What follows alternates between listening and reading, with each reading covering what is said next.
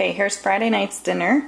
It is breakfast night. We have pan blueberry pancakes, um, sausage links, and scrambled eggs.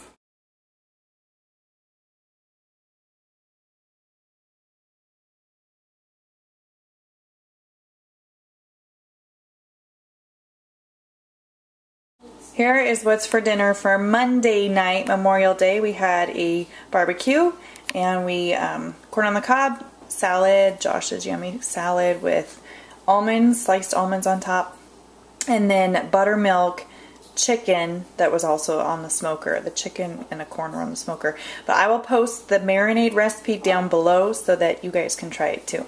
Okay, this is what's for dinner on Tuesday night. Leftover barbecue chicken, leftover salad, and we've added rice, pilaf. Almost the same thing, just the pilaf is different as last night.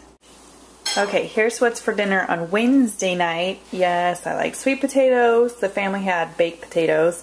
Panko crusted pork, loins, pork, I don't know, cutlets. They're supposed to be cutlets. Mine were a little bit thicker. But I'll post the link for the panko recipe. It's a Weight Watcher recipe down below. And then spinach salad.